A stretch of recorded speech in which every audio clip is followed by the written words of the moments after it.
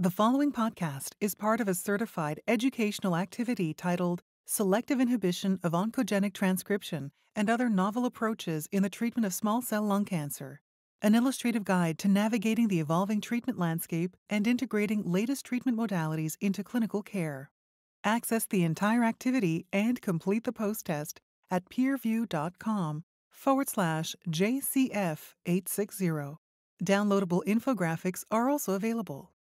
Thank you for listening to Peerview Podcasts. We greatly appreciate your support and would like to hear from you. Can we ask for a favor? Participate today in a short one minute survey at www.peerview.com forward slash podcast survey to share how podcasts play a role in your medical education routine. Again, that's www.peerview.com forward slash podcast survey to participate. And now, on to today's podcast. Hello, I'm Dr. Jacob Sands from the Dana Farber Cancer Institute and Harvard Medical School in Boston, Massachusetts. Welcome to this PeerView in motion activity focused on recent advances and new therapeutic options in small cell lung cancer. In this educational program, we will use dynamic infographic visualization and animations to learn about the evolving treatment landscape for this challenging subtype of lung cancer, the mechanisms of action, and efficacy safety profiles of the current and emerging agents, and implications for clinical practice. First, in looking at the outline, we'll review a bit of historical perspective. When looking at outcomes in small cell lung cancer, this is an aggressive, high grade neuroendocrine carcinoma. It accounts for about 13 to 15% of all lung cancers. The vast majority of small cell lung cancers are associated with a significant smoking history and smoke exposure. Rarely, this can occur in those with a very limited or never smoking history, and those are considered outliers, which we'll discuss a little bit later. Small cell lung cancer tends to present with bulky mediastinal lymph node involvement, and there's often metastatic disease at the time of diagnosis. Until recently, there had been very limited progress in management of small cell lung cancer with few advances and poor outcomes. When looking at historical perspective for small cell lung cancer, the survival curves have been daunting. And the curves have often looked like what one of my attendings in fellowship would say from the back of the room that that curve is not skiable to represent the fact that there's a rapid drop off. Unfortunately, small cell lung cancer curves have looked that way, and we now have some recent advances that we'll be discussing as part of this presentation. Looking back at topotecan, which until recently was the only second line approved option, we see survival curve of this relative to best supportive care. And when you see a survival curve where the control arm is best supportive care, that really highlights the fact that there have been limited options. Although we see separation of these curves, it is not as dramatic as we would hope for when looking at a control arm of best supportive care. When we focus on small cell lung cancer diagnosis, this, like all solid tumors, are diagnosed by pathology from biopsy. We look at the standard immunohistochemical markers for lung neuroendocrine. The majority express TTF1 and 75% express neuroendocrine differentiation. These include synaptophysin, chromogranin, and or CD56. Small cell lung cancer also has a high mitotic rate and is a transcriptionally active cancer. This leads to rapid disease progression. When looking at small cell lung cancer staging, we discuss staging a little bit different than in non small cell lung cancer, particularly a separation of limited stage versus extensive stage disease. Limited stage disease can be treated with chemotherapy and radiation. This is disease limited to an area that is encompassable by a radiation field. There is also TNM staging, which is more precise, but the Veterans Administration Lung Study group of limited versus extensive stage is often still used clinically. Further subclassification by stage rarely impacts management. There have been barriers to treatment advances in small cell lung cancer that are worth noting. There are numerous challenges to drug development in small cell lung cancer. This is a smoking related cancer, and as such, often patients have significant comorbidities that can impact their outcomes. Small cell lung cancer leads to rapid progression of disease, and as such, there is limited time for initiation of next line therapy, which can particularly present complications and challenges when trying to enroll to clinical trials, as it prevents an opportunity for delays in treatment with trial screening and necessary workup prior to initiation of therapy on a clinical trial. Standard chemotherapy is easy to administer, and there are some options that are available. Given this and the desire to rapidly initiate therapy, this may lead to decreased referrals to centers with more clinical trials options. Given the rapid progression of small cell lung cancer, the time necessary to obtain biopsies before a next line therapy is challenging. At the same time, when biopsies are obtained, there can be necrosis that limits the amount of usable tumor specimen. This has led to fewer preclinical models that are necessary for further drug development. This has led to dozens of failed randomized trials. Despite impressive initial responses to first line chemotherapy, there have been countless novel strategies that have failed to extend patient survival, particularly in the second line and beyond. Looking at the genomic alterations in small cell lung cancer, we see that there are many somatic mutations present within the tumor specimens. And when we look across all tumor types, small cell lung cancer tends to be the one with a greater amount of somatic mutation prevalence. This is likely due in part to the significant smoking history without any particular driver mutation that's present small cell lung cancer is extremely rare in individuals without a smoking history. It's important to point out that in somebody who never smoked, molecular profiling may help clarify the diagnosis and demonstrate a target. These likely represent outliers within small cell lung cancer. The vast majority of patients do have a significant smoking history. A discussion of the common genomic alterations in small cell lung cancer helps us to better understand this challenging disease. P53 mutations, RB1 loss, and MYC amplification are all very common. Better understanding these three genes helps us to better understand the disease itself. P53 is often called a guardian of the genome. This activates DNA repair proteins, arrests cell cycles to allow for DNA repair when there are multiple alterations present. This can also initiate apoptosis in cells with significant DNA damage that is not being adequately repaired. Mutations of P53 impact cellular response to DNA damage. Mutations in P53 are present in the majority of small cell lung cancers. RB1 loss is almost always noted in small cell lung cancer as well. RB1 inhibits cell cycle progression by binding transcription factors in cells with damaged DNA, arresting replication in S phase.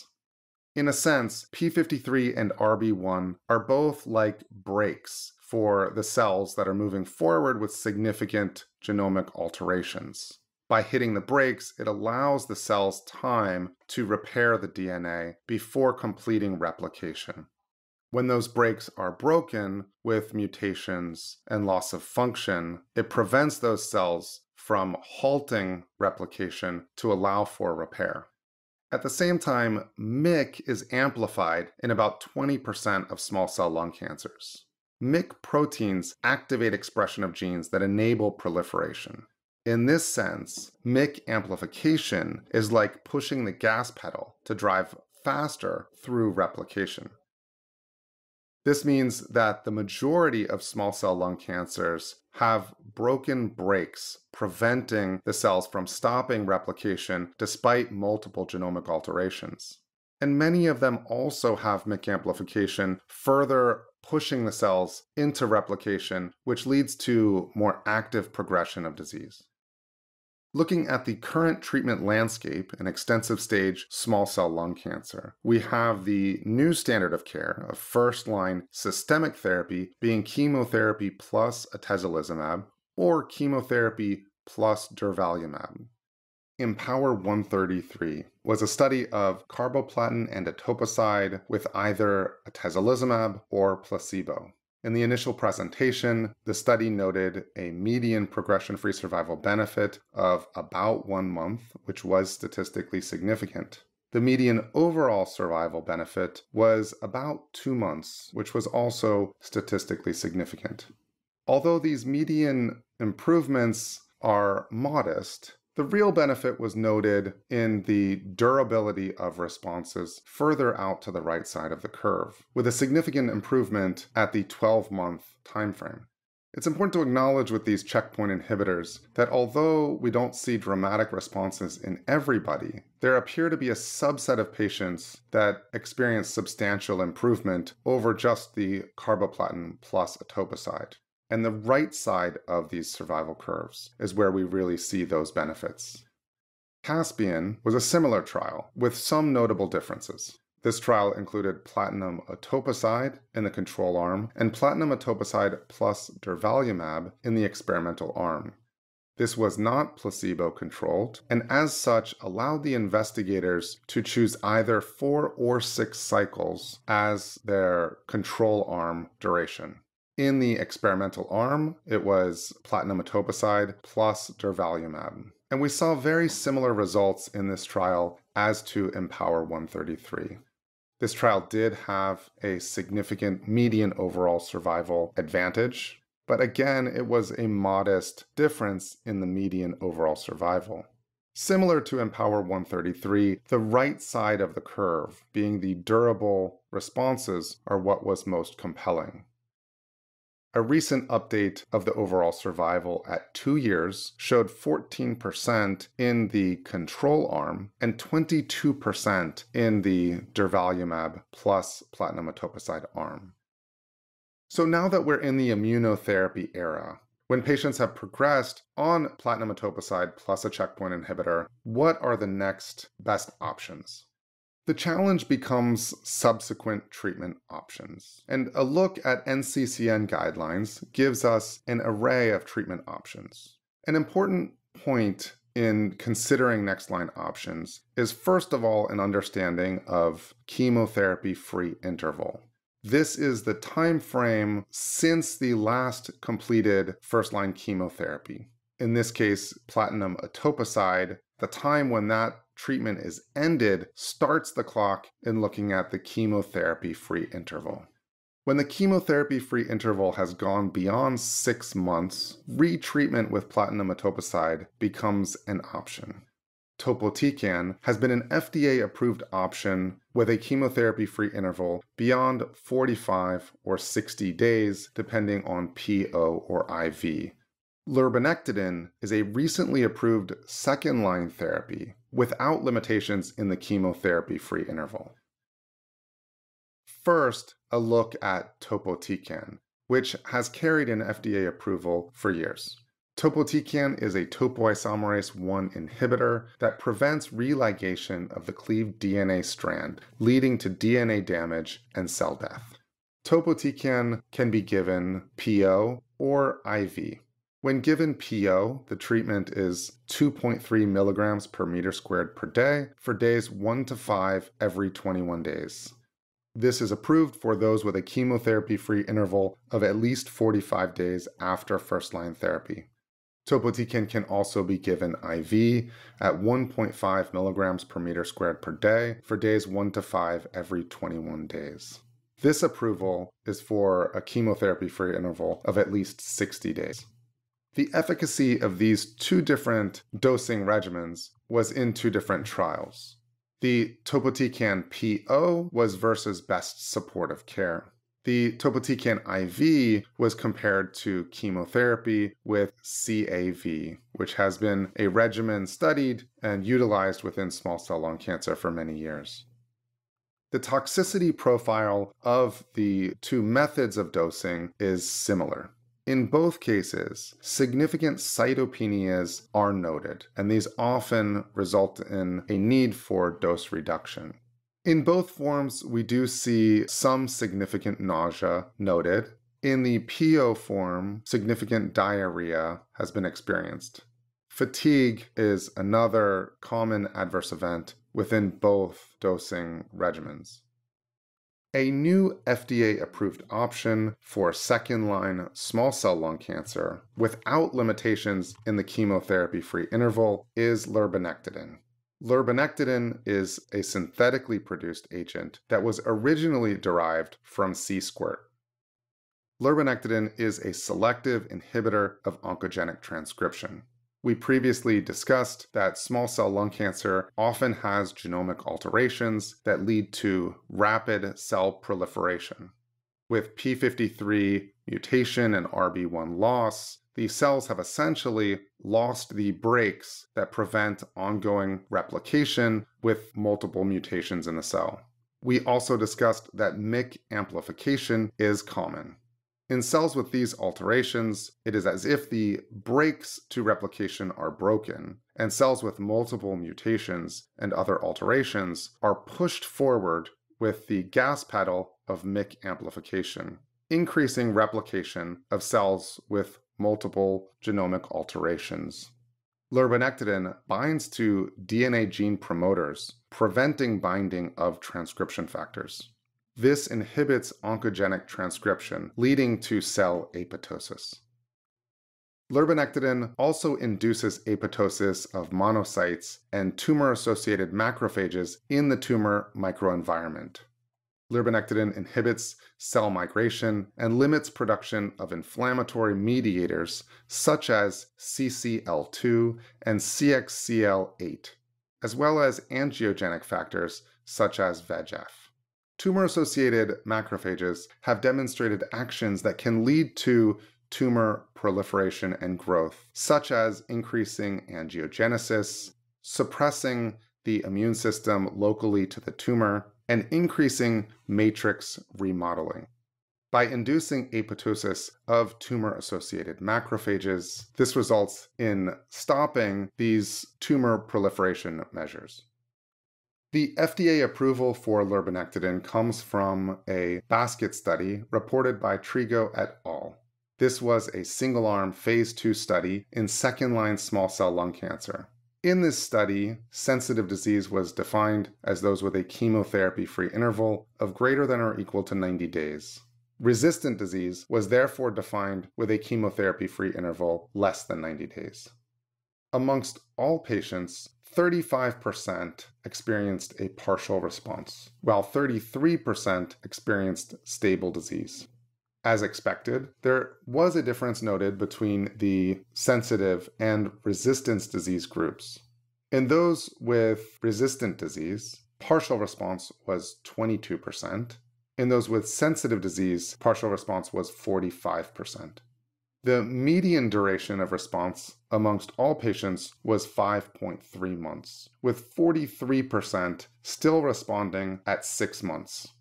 Again, a difference was noted in those with resistant disease and sensitive disease in the category of response at six months. The difference was 12% versus 55%.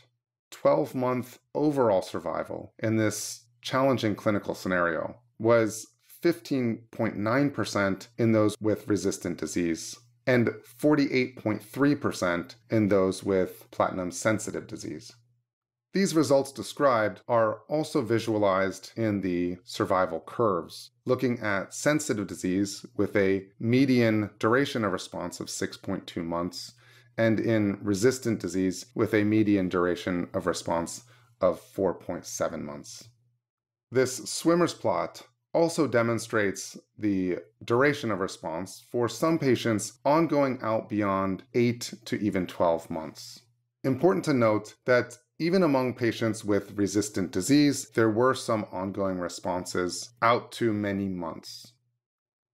A look at the safety profile of lurbinectedin demonstrates that this is generally well tolerated. Cytopenias were noted, especially neutropenia, with 21% grade 3 and 25% grade 4. Although significant neutropenia was noted, febrile neutropenia was uncommon, with only 2% grade 3 and 3% grade 4. Important to this topic is to highlight that patients were not allowed to get primary prophylaxis within the study. Some patients did end up getting GCSF with future cycles, although, as noted, this was not allowed at the start of the trial. Now that we've discussed an FDA approved option, we're going to discuss a few that are commonly used off label. Irinotecan is another topoisomerase inhibitor that prevents religation of the cleaved DNA strand, leading to DNA damage and cell death. The data for irinotecan comes from a small number of patients, but has demonstrated efficacy. Looking at a study published in 1992 that included 15 patients, five of whom were initially diagnosed with limited stage disease and 10 initially diagnosed with extensive stage disease. The response rate in this small study was 47%, with seven patients experiencing a partial response. The median duration of response was 58 days with a median overall survival of 187 days. The toxicity profile of this drug is favorable. Cytopenias can be noted. Diarrhea is something to monitor. This is an option I have used for some patients in whom I'm concerned about any side effect profile. Paclitaxel is another that is commonly used off label for small cell lung cancer. Paclitaxel was initially isolated from the Pacific yew tree. Paclitaxel binds to microtubules, promoting microtubule assembly and preventing disassembly. This inhibits cell replication by interfering with the late G2 mitotic phase. Paclitaxel has been studied in two different dosing schemes, one being 175 milligrams per meter squared IV every three weeks. In a small study of 21 patients, a partial response rate was noted of 29%. The median response duration was 108 days. The median progression free survival being 65 days, and median overall survival of 100 days. These median outcomes highlight the challenge of this clinical scenario. Another way of dosing paclitaxel, which tends to be better from a side effect profile, is 80 milligrams per meter squared weekly times six weeks in an eight week cycle. This was also studied in a small study of 21 patients. Amongst the 21 patients, the response rate of 24% was noted. When looking at data from small cell lung cancer, we've discussed the importance of the chemotherapy free interval. In this study, there were 11 patients with sensitive disease and 10 that were considered refractory. Amongst the 11 with sensitive disease, the response rate was 27%, and refractory was 20%. In the weekly dosing, the side effect profile was generally well tolerated.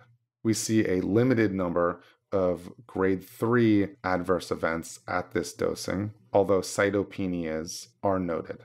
This is often an option for patients where you're concerned about the side effect profile of a next line option for small cell lung cancer.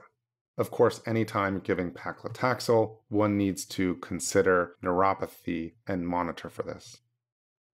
Another option is temozolomide.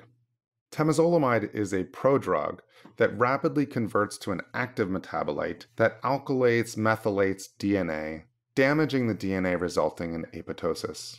Temozolomide is most noted given the significant penetration of the blood brain barrier.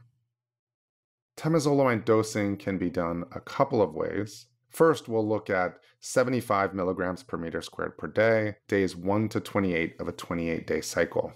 The waterfall plot shows responses out to the right. We see multiple partial responses and one complete response noted. This study described platinum sensitive disease as being a chemotherapy free interval greater than two months. A label of refractory disease was designated for those with a chemotherapy free interval less than or equal to two months. There were some patients with platinum refractory disease that did have a response to therapy with temozolomide. When giving temozolomide, it is important to remember to dose on ondansetron 30 minutes before. Temozolomide can cause nausea, and this pre dosing with ondansetron can significantly reduce the development of nausea. When looking at the efficacy of temozolomide, we see a difference in the curves between those with platinum sensitive and platinum refractory disease. As expected, the curve drops off more quickly with platinum refractory. In looking at these curves, note the difference in the axis with time, making the shape alone not indicative of the full story on efficacy. Another way of dosing temozolomide is 200 milligrams per meter squared per day on days 1 to 5 of a 28 day cycle. This higher dosing over fewer days within the cycle has demonstrated some improvement in tolerability that we'll discuss. First, looking at the waterfall plot, we do see some responses to therapy, including those amongst some patients with platinum refractory disease. In this study, platinum refractory was considered those with a chemotherapy free interval of less than 60 days. The side effect profile of the five day dosing shows less cytopenias. When comparing these two dosing regimens, in general, it appears that the tolerability of the five day dosing may be slightly better. At the same time, the efficacy between the trials appears to maybe be slightly better in the 21 day dosing. It is impossible to draw any true conclusions, as this is cross trial comparison of two studies with some notable differences. In the 21 day dosing study, 75% of patients had platinum sensitive disease, while in the five day dosing, only 64% of patients had platinum sensitive disease. This certainly creates some challenges in comparing efficacy, but is something to consider. It's important to note that patients who have received platinum etoposide plus atezolizumab or platinum etoposide plus durvalumab are not really good candidates for later line checkpoint inhibitor at progression. Many patients are now being treated with those checkpoint inhibitors in the frontline setting, making nivolumab or pembrolizumab not compelling options at the time of progression. In patients who have progressed on a checkpoint inhibitor, there is no evidence for any benefit of a later checkpoint inhibitor, with the exception of rare patient specific scenarios. To summarize, small cell lung cancer is a transcriptionally active cancer that is highly resistant after progression on first line therapy compelling second line options have been lacking. Topotecan has served as an FDA approved option for years. Lurbinectedin, a newly approved agent in this setting, is also now a new option. Second line and beyond small cell lung cancer is an area of ongoing research with multiple drugs in development. We have discussed some of the challenges of small cell lung cancer with a handful of FDA approved treatment options, along with others that are commonly used off label. Now let's put it all together. In the first line setting, platinum etoposide plus atezolizumab or platinum etoposide plus durvalumab are the standard of care. If a patient is diagnosed with extensive stage small cell lung cancer, one of these treatment options is preferred. At progression after one of these regimens, we've discussed a handful of other options. So let's discuss some scenarios in which one may be preferential over another. First of all, generally speaking, at progression, we have lurbinectedin as an FDA approved option without limitation based on chemotherapy free interval. Topotecan is an approved option in those with a chemotherapy free interval of at least 45 days or 60 days based on PO or IV dosing. Generally speaking, lurbinectedin would be my approved second line treatment option. In patients with a chemotherapy free interval of greater than six months, retreatment with platinum etoposide is considered an option. Although this is an option, it is not my preference, particularly in patients with a chemotherapy free interval close to six months. We know that the duration of response to retreatment with platinum etoposide is likely to be less than the initial response to therapy. In that sense, patients are less likely to get a significant amount of time after completing the chemotherapy. The discussion becomes particularly interesting in patients who were initially diagnosed with limited stage disease. In those patients, the standard of care treatment is platinum etoposide plus radiation with curative intent. At the time of progression, those patients have not been exposed to a checkpoint inhibitor. In those cases, checkpoint inhibitor becomes a consideration. When looking at checkpoint inhibitors, we note that a subset of patients experience a response. But amongst those who have that response, it is often durable. Due to the potential for durable responses, I want to make sure that each patient does get one of these checkpoint inhibitors at some point in their care. If a patient is rapidly clinically declining, we must acknowledge that checkpoint inhibitors are less likely to result in response to therapy. If the line of therapy at the time of rapid progression is not effective, those patients may lose an opportunity for any other treatment options. Whether somebody is treated for limited stage or extensive stage disease, prophylactic cranial irradiation is a consideration. In patients who have gotten whole brain radiation, whether that be from prophylactic or therapeutic intervention, if they have progression in the brain after that time, it can represent a very challenging clinical scenario. Re irradiation to the brain can carry an increase in toxicity. Temozolomide in that scenario can be an option with good CNS penetration across the blood brain barrier. Patients who have previously received radiation to the brain, now with progression in the brain, may benefit from temozolomide. We've discussed multiple treatment options after progression on first line platinum etoposide plus checkpoint inhibitor. Although we've discussed these various treatment options more in the second line setting after treatment with platinum etoposide plus a checkpoint inhibitor, that is not to say that these different drugs can't be used in later lines of therapy. When treating somebody with small cell lung cancer, we want to string along multiple therapies, hopefully getting some benefit from each of them. If we're able to successfully treat with multiple lines of therapy, this will hopefully further prolong a patient's quality of life. Treatments such as paclitaxel and irinotecan have both been discussed as drugs that are generally well tolerated from a side effect profile.